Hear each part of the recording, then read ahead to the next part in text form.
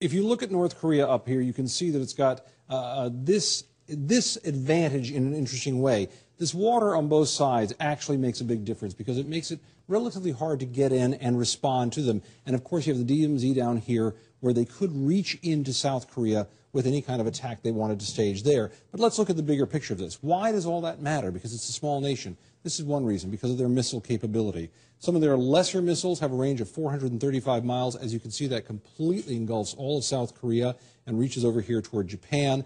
Their bigger missiles come all the way out here to 2,500 miles. We've talked a bit about the idea of something that could go all the way to the U.S., but that's sort of off the table right now. The technology doesn't look that good. But these are real. And when you talk about their ground forces, then you start talking about an awful lot of people, simply put.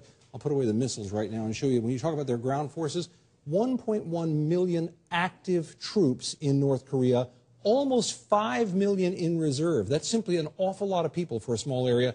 605 combat aircraft, 43 naval missile vessels. These might be very limited if they came out and tried to do anything, Wolf.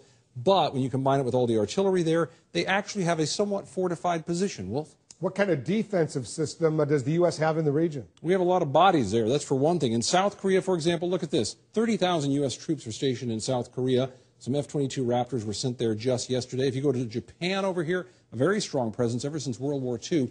3,800 U.S. troops there. A second early warning radar system has been put there to keep track of the missile attacks coming from North Korea. And of course, down here at Guam, you have 5,700 U.S. troops. And this is one of the most important naval bases in the world for our long range bombers. So there's a lot of force that could respond to North Korea here, Wolf. But what you're going to have is a push pull between all of these forces trying to get in from all these different places if it came to that, and the conventional flow out of missiles from North Korea if indeed you move to a conventional war. Of course, everyone hopes it doesn't go that way, Wolf, but that's a bit how the lay of the land would be if it did.